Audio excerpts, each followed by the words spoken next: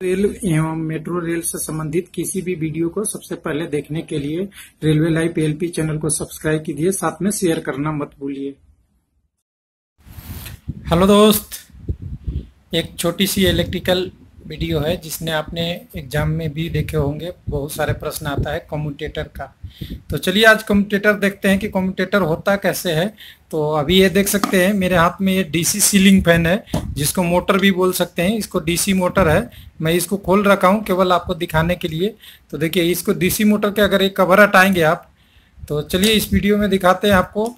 सबसे पहली पार्ट देख सकते हैं कार्बन ब्रूस इसे बोलते हैं कार्बन ब्रूस दो पॉजिटिव और नेगेटिव टर्मिनल को टच करता है। और यहाँ पे अब कम्यूटेटर की बात हो रही थी तो देख सकते हैं, मैं अभी ओवरव्यू दिखा रहा हूँ इस फ़ैन का। तो ये देखिए फ़ैन का ओवरव्यू है, और इस व्यू में आपको दिख सकता है ऊपर से जो अभी ये वाइंडिंग है वाइंडिंग के साथ एक कम्यूटेटर लगा हुआ है। तो चलिए कम्यूटेटर को दिखाते हैं। अब यहाँ देख सकते हैं, मैं ये कवर को यहाँ से रिमूव कर दिया हूँ, यहाँ से। तो कवर रिमूव होने के बाद देख सकते हैं वाइंडिंग बिल्कुल आपके सामने स्पष्ट आ चुका है। अब यहाँ वाइंडिंग में देख सकते हैं, अब मैं इसको आपका व्यू चेंज कर देता हूँ। तो ये देख सकते हैं वाइंडिंग का आर्मर कोर है और साथ में ये इसकी वाइंडिंग है, एक दूसरे से टच किए हुए थे। लेकिन यहाँ बात थी कम्यूटेटर की कम्यूटेटर क्या होता है और कैसे काम करता है? तो देखिए, मैं यहाँ पे आपको व्यू में लाता हूँ, ये कम्यूटेटर जो आप निशान से देख सकते हैं, एक, दो, तीन अलग अलग सेगमेंट में एकदम बिल्कुल आप क्लियर देख सकते हैं यहाँ पे। अलग अलग सेगमेंट में एक कम्यूटेटर बना हुआ है, ऊपर से भी आप देख सकते हैं अलग अलग कॉपर की पत्ती और बीच में माइका लगा हुआ है। देख सकते हैं, बीच में ये माइका लगा हुआ रहता है और प्रत्येक वाइंडिंग एक, दो, तीन, चार सब एक दूसरे से अलग अलग जुड़े हुए रहते हैं। देख सकते हैं आप यहाँ से व्यू में ये इस कंप्यूटर का सेगमेंट है और साथ में इसकी वाइंडिंग इससे एक दूसरे से जुड़ी हुई है। तो इस तरह कंप्यूटर का स्पार्किंग को कम करने के लिए इस पे कार्बन ब्रूस जो हमने अभी दिखाया था आपको, इसमें देख सकते हैं एक, इसकी कार्बन ब्रूस है ये।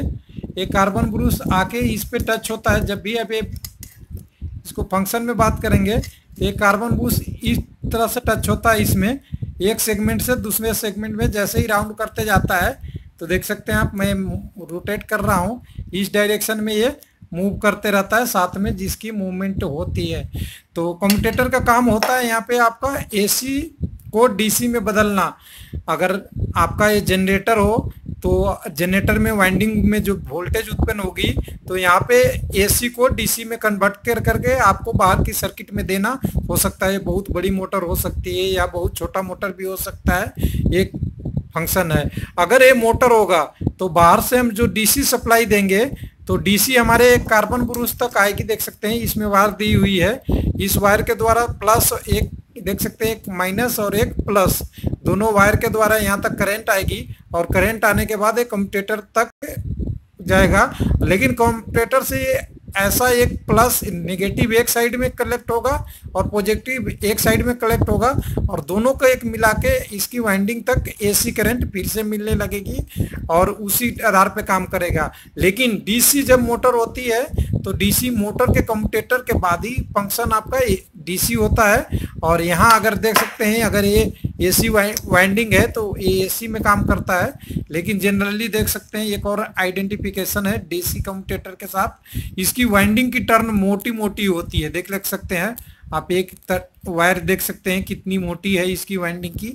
अगर एसी रहता तो ये बहुत बारीक होता, क्योंकि ये मोटर बहुत स्मॉल है, केवल 50 50 या 60 वाट की मोटर है। उससे भी कम कर सकते हैं। 20 वाट की मोटर है तो 20 वाट की सीलिंग फ़ैन डीसी है।